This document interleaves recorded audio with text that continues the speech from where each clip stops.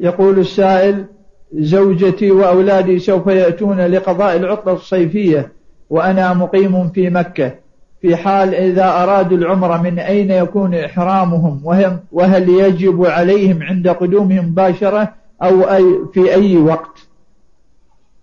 إذا كانوا خارج مكة إذا كانوا خارج مكة ويبي يأتون للعمرة يحرمون من الميقات.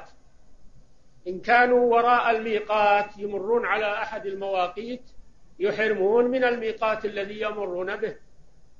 وإن كانوا دون المواقيت فإنهم يحرمون من من بيوتهم.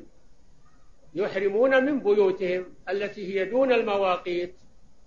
قوله صلى الله عليه وسلم لما وقت المواقيت قال هن لهن ولمن أتى عليهن من غير أهلهن ممن أراد الحج أو العمرة ومن كان دون ذلك فمهله من أهله يعني من منزله.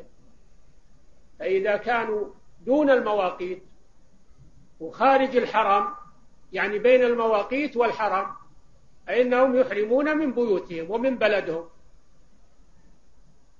أما إذا كانوا داخل الحرم داخل الأميال فهم يخرجون إلى الحل ويحرمون بالعمرة من الحل من التنعيم من الجعرانة من من عرفة من الحل